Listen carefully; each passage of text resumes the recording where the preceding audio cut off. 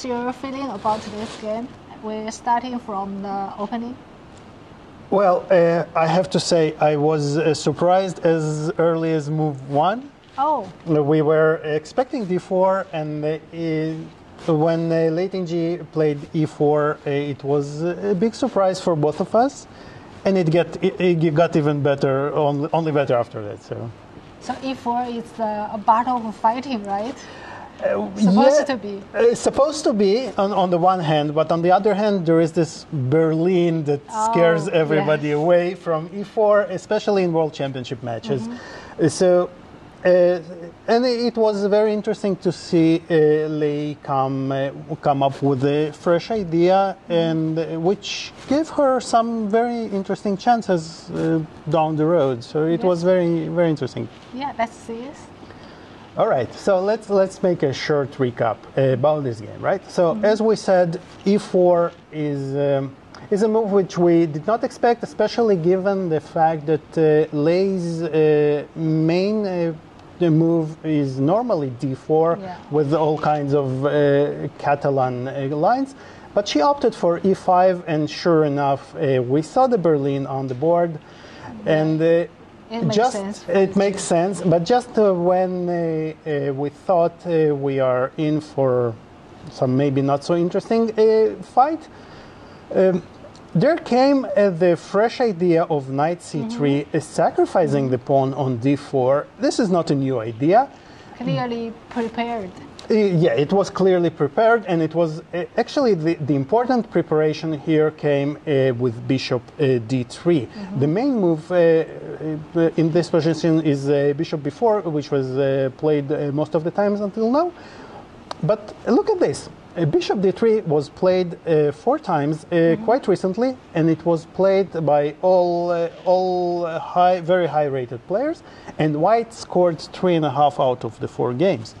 So this is uh, definitely a very interesting uh, idea, a fresh idea, and judging by the time that uh, Ju Wenjun uh, spent after the uh, after this um, Bishop d3 move, for her it was a surprise.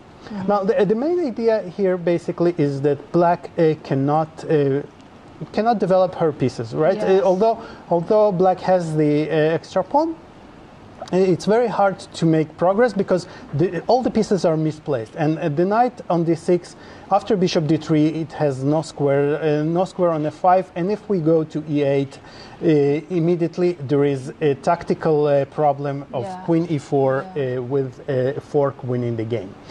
So uh, Ju Jun took on c4. She, she took some time, uh, but actually she reacted, and it, it was very interesting to see that she played quite. Fa- she did take the time to think, but uh, she played quite fast. Uh, uh, the, the the next stage of the game, which was uh, which is an indication, I think, of her good form and a quick calculation Yeah, during the game. Because I felt the black must be under pressures, even though the computer said that was uh, okay, but uh, Abso- still, yeah, exactly, absolutely. So the, the, the, the, the computer says 000, but it's anything but very but uh, clear for uh, how black uh, should proceed.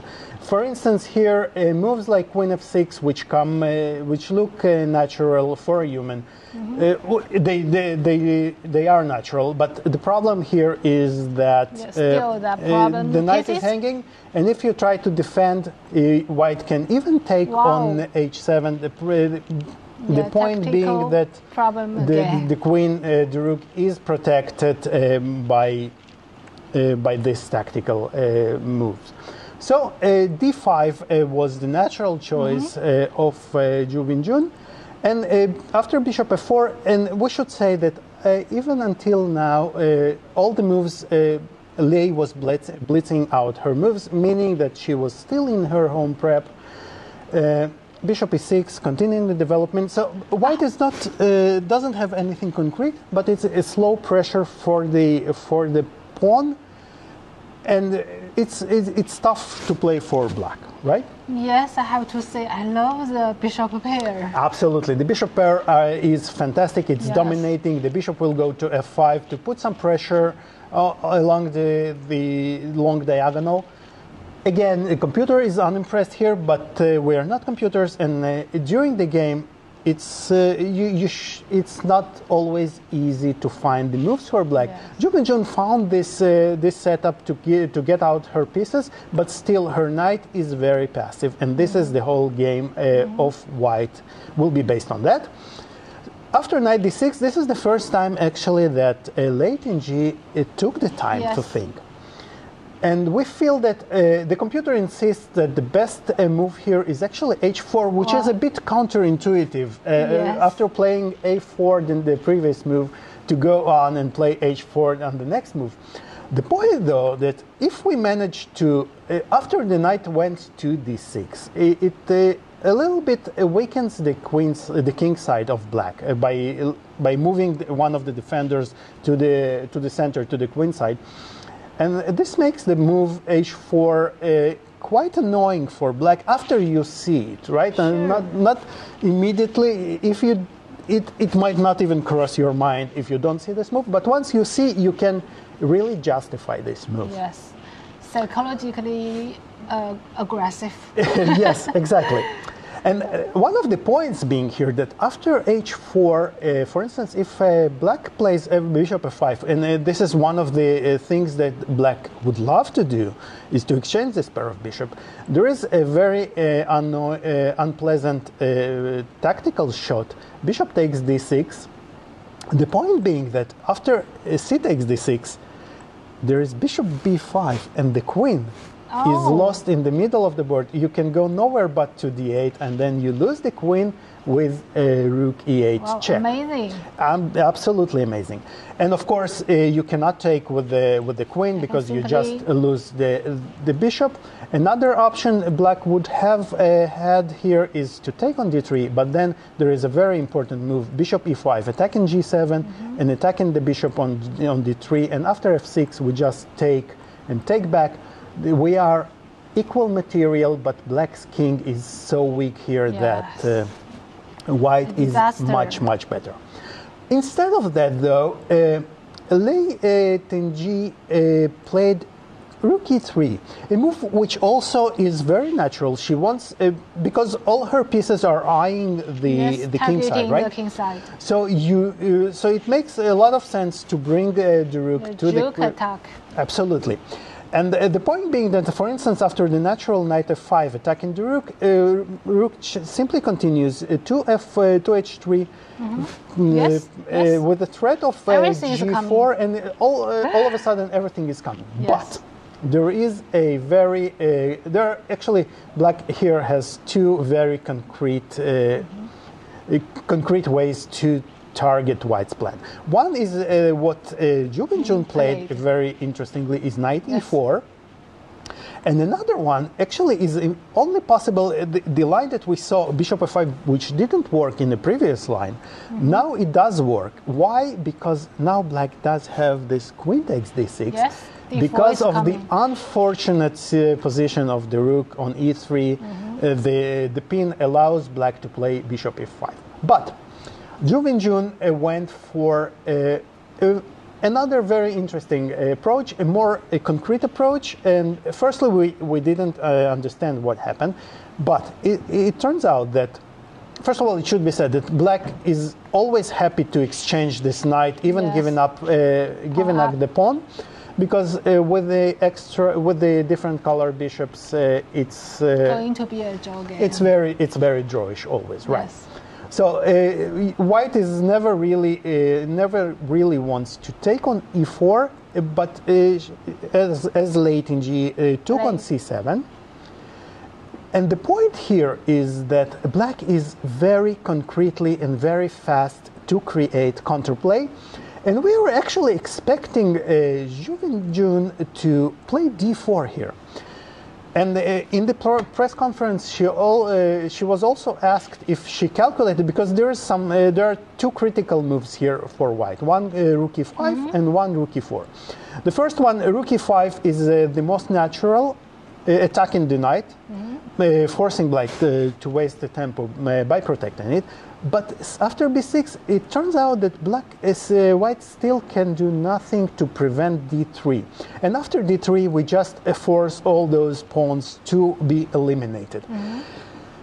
But as always in chess, uh, the strategical plans and positional plans are good, but you need some tactical justification. Yes. And, and for a human, it's much more difficult than for a machine, of course, to do. Of course, we cannot be always precise. Exactly, and, and, and, and this is what uh, Ju Jun said in the press conference that she was uh, she didn't like uh, rook e5, b6, and a5. The point though here is is D3 is very coming. uh, important. So we want to play d3, but uh, importantly. After c takes d3, we don't take on b3 immediately because it can be scary uh, for white. Although the, the engine still says it's uh, it's enough compensation and it's a draw for Yes. black, but from far away it can be very intimidating to go there. a little bit risk. But there is even a, an even more convincing way after a5 d3. Uh, uh, takes d3, there is a very beautiful uh, resource, Wow. rook c8, attacking the bishop. And the Can point I being that if you pawn? take the pawn, there is a knight Wow. back to d7, hitting That's both the rook and the bishop, and you are not in, you cannot protect the bishop because of the pin, and you lose the bishop. That's smart. This is a very, very deep line. Of course, extremely hard to see that, and uh, this is why uh, Min Jun did not go to d4. Another beautiful line, which we consider uh, considered during the commentary, is rook e1. And uh, the point being that after d3, which black wants to play, of course, uh, to undermine all uh, all the pawn structure. Uh, it seems like uh, white has uh, this very strong bishop d6 attacking on d6, and if uh, black needs to protect the, the bishop, then white is simply a pawn up and a game is won. But black has a fantastic resource. d takes c2. Rook c8. And rook, Look at no, rook d8. d8. This is the Oh. point. So we want to, we are threatening Rook rook d1. d1, and if uh, white pro- uh, manages to protect, Mm-hmm. uh, sorry, not rook d1, of course, if uh, we just take uh, Yes. uh, on b3, threatening rook d1, Mm-hmm. and the point being that after we play rook d1, you cannot protect from bishop take uh, bishop c4, and this is. Uh, Beautiful. yeah, and uh, this uh, line uh, after bishop e2 would uh, really lead to a forced uh, Wow. draw. Yeah. So uh, we actually expected uh, to see this from Ju Jun after she played 94, but as she said in the in the press conference, she was a bit uh, uh, afraid of uh, Well, that's human. Queen of Rook Yes. e5, and it's absolutely But understandable. this variation is totally, yeah, chasing duty. Uh, yes, yes, it was absolutely. We were extremely excited here. Mm-hmm. Uh, uh, so she opted for a queen uh, for rook c8, Mm-hmm. and the point being that a very solid point actually, and I think uh, so. She she's threatening to exchange uh, the the bishop on e5 and threatening to take on c2. So her point is it's actually even more important that the c pawn is threatened and her point being that after bishop d3 she does not take the kni- the bishop on e5 because this is frankly not an, an it's, it's an unpleasant uh, uh, position to defend. But she was planning to just go back to c5 and it really looked like a repetition right? But Lei Tingjie found a fantastic resource here. She goes to bishop e2 you may ask, but what's the difference? The difference being that now she plays bishop c3 and she has, in many lines, she will have bishop d1 protecting the c4, uh, the c2 pawn, which will give her uh, some playing Yes. chances. It's still being very near, uh, very close to a draw, but uh, the the game uh, the game is still alive, and this is what White wants to do. And this actually, I think, uh, we felt that uh, Ju Wenjun uh, missed this plan of uh, Bishop E2 because now she started to make uh, some concessions in her Yeah. position. So, uh, for instance, after A6, we felt that the most uh, the most strict way to play here was to attack immediately, to attack the pawn on C2. After a6, she gives some time for white to, to uh, give luft for her king. Uh, and now, after g4, so all of a sudden black's position is a little bit uh, passive, a- a, a Mm-hmm. yes. bit too passive. And here, uh, Jun is really the, the most, uh, one of the first most critical uh, I- points in the game. Zhu Yeah. Jun went for f5. Yeah, I didn't like that move at the first sight, but Yes. I didn't know why. Absolutely, it, it look, the move looks a little bit uh, Weird. a little bit weird, a little bit artificial. But if White doesn't do anything concrete, as happened in, the game, uh, it solves uh, all Black's problems quite fast. However, and uh, White had a very strong resource Wow. here, Bishop b4. Uh, attacking, so basically it makes a lot of sense because the pawn on f7 was protecting the bishop on e6. Once the pawn is gone, uh, the bishop is not protected, so this move is uh, very, very annoying. The point is that black has no good way to Yes. protect the bishop. Oh. Because, for instance, if you play king f7, then uh, you, we take on f5, and uh, this uh, rook on, C, on e7 is extremely, extremely strong.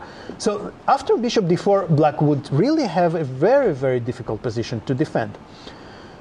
You know As- what? Uh, during the game, we saw that move from the computer. I was very nervous for G&G, but uh, after they missed the chance, I also feel sorry for Lei Tingjie. So it's, Absolutely. Uh, So yes, you- you- it's part of Chinese and it's part of war.